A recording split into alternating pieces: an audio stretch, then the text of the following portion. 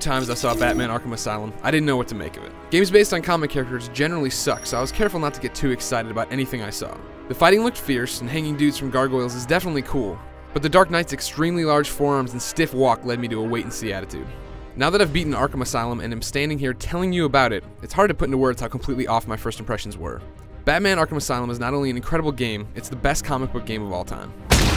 If you've missed the oodles of coverage we've had on IGN about this title, the story is a brand new tale that's meant to be the longest night of Batman's life. So you start by actually returning the Joker to the nut house, but he soon flips the script and takes the place over thanks to Harley Quinn and a couple hundred of his goons. Soon Commissioner Gordon's kidnapped, the bad guys have the Warden, and the Cape Crusader's gotta play the Joker's game if he wants to save Gotham from another kill everyone in town scenario. Seeing as how I'm feeling generous, I'll give you this one for free.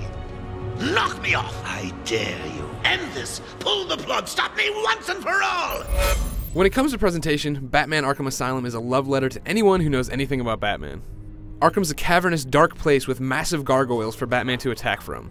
It's filled with the guards the Joker's men took out, filthy hallways. I mean, it's visually clear this building has been through hell and it looks great. There's some screen tearing here, a texture pop in there, and the in game cutscenes feature bug eyes and poor lip syncing.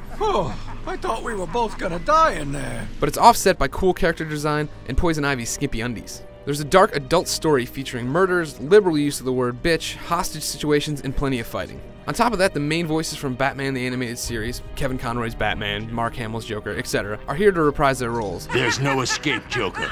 I will find you. Ooh, I'm counting on it. Just not yet. And tape recordings of therapy sessions with Ivy, Killer Croc, and more inmates really flesh out these personalities in a way that will have you aching to get to the next story bit.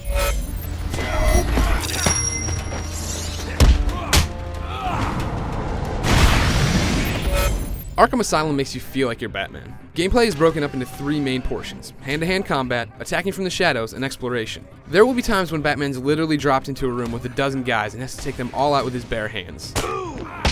Doing this breaks down into a simple to use, difficult to master combat system that's just four buttons strike, reverse, jump, and stun. You can toss in a batarang or grappling hook with the shoulder buttons, but basically you're just wailing away on the bad guys and turning their own attacks against them. If you can keep your punches and kicks on the money, you'll rack up combos and be able to pull off special throws and takedowns you've unlocked. Other sections will have Batman walk into a room and find a handful of the Joker's men patrolling. This is your chance to try out the Invisible Predator mode. Grapple up to the gargoyles in the room, kick on your detective vision, and then start picking them off one by one. You can glide kick in and knock them out, hang them from the ceiling, and so much more.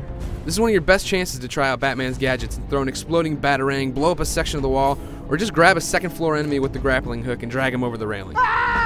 All these attacks, both the straight combat ones and the shadow stuff, is filling your XP meter. When you get it filled, you can unlock an upgrade to the Dark Knight's suit, weapons, or moves. It's fun stuff, and being able to remotely control a Batarang is rad. On top of that, Arkham's a museum in terms of bat trivia. The Riddler's hidden 240 trophies, challenges, and patient interviews around the island, and it's your job to find all of them.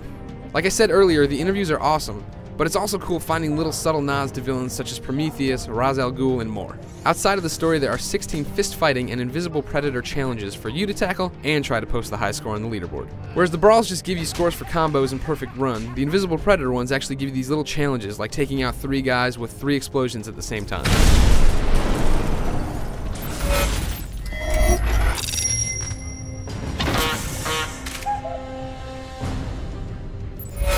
You owe it to yourself to read my written review.